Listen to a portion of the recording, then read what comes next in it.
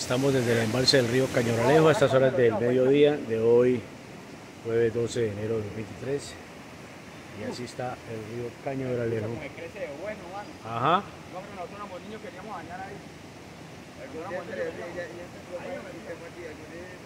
Así está la panorámica de la montaña mágica de Siloé en medio de esta lluvia de hoy 12 de enero de 2023. Un saludo para el doctor Armando Paravaldana.